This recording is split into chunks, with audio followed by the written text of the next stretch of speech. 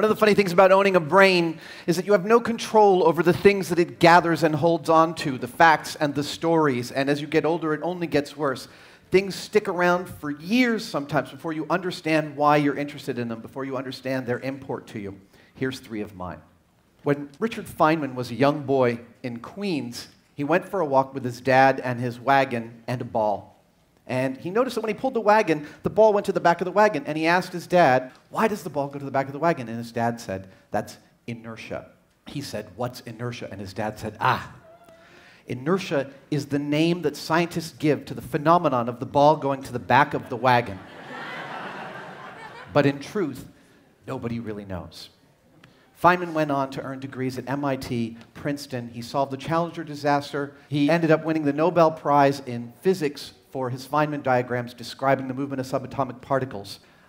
And he credits that conversation with his father as giving him a sense that the simplest questions could carry you out to the edge of human knowledge, and that that's where he wanted to play. And play he did. Now, Eratosthenes was the third librarian at the Great Library at Alexandria, and he made many contributions to science. But the one he is most remembered for began in a letter that he received as the librarian from the town of Swenet, which was south of Alexandria. The letter included this fact that stuck in Eratosthenes' mind, and the fact was that the writer said at noon, on the solstice, when he looked down this deep well, he could see his reflection at the bottom, and he could also see that his head was blocking the sun. Now, I should tell you, the idea that Christopher Columbus discovered that the world is spherical is total bull. It's not true at all. In fact, everyone who was educated understood that the world was spherical since Aristotle's time, and Aristotle had proved it with a simple observation. He noticed that every time you saw the Earth's shadow on the moon, it was circular. And the only shape that constantly creates a circular shadow is a sphere. Q E D, the Earth is round. But nobody knew how big it was until Eratosthenes got this letter with this fact. So he understood that the sun was directly above the city of Swenet because looking down a well, it was a straight line all the way down the well, right past the guy's head up to the sun. Eratosthenes knew another fact. He knew that a stick stuck in the ground in Alexandria at the same time and the same day at noon, the sun's zenith, on the solstice, the sun cast a shadow that showed it was 7.2 degrees off axis. Now, if you know the circumference of a circle, and you have two points on it, all you need to know is the distance between those two points, and you can extrapolate the circumference. 360 degrees divided by 7.2 equals 50. I know it's a little bit of a round number, and it makes me suspicious of this story too, but it's a good story, so we'll continue with it.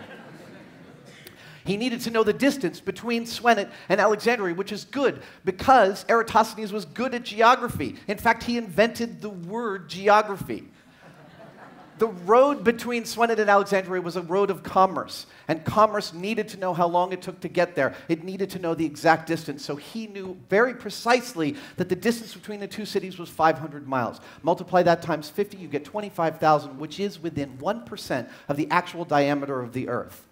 He did this 2,200 years ago. Now, we live in an age where multi billion dollar pieces of machinery are looking for the Higgs boson, we're discovering particles that may travel faster than the speed of light. And all of these discoveries are made possible by technology that's been developed in the last few decades. But for most of human history, we had to discover these things using our eyes and our ears and our minds.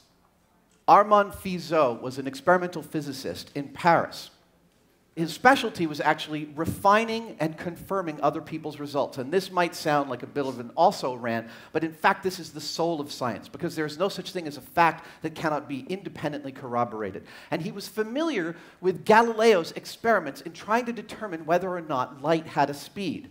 So Galileo had worked out this really wonderful experiment where he and his assistant had uh, a lamp. Each one was holding a lamp, and Galileo would open his lamp, and his assistant would open his lamp and they got the timing down really good.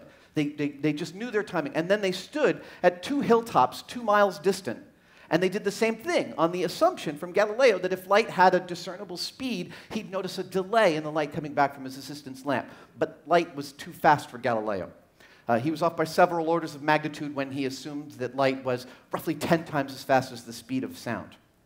Fizeau was aware of this experiment. He lived in Paris, and he set up two experimental stations roughly five and a half miles distant in Paris. And he solved this problem of Galileo's, and he did it with a really relatively trivial piece of equipment. He did it with one of these. I'm going to put away the clicker for a second because I want to engage your brains in this. Now, this is a toothed wheel. It's got a bunch of notches and it's got a bunch of teeth. This was Fizeau's solution to sending discrete pulses of light. He put a beam behind one of these notches. If I point a beam through this notch at a mirror five miles away, that beam is bouncing off the mirror and coming back to me through this notch. But something interesting happens. As he spins the wheel faster, he notices that it seems like a door is starting to close on the light beam that's coming back to his eye. Why is that? It's because the pulse of light, it's not coming back through the same notch. It's actually hitting a tooth. And he spins the wheel fast enough and he fully occludes the light. And then, based on the distance between the two stations and the speed of his wheel and the number of notches in the wheel, he calculates the speed of light to within 2% of its actual value. And he does this in 1849.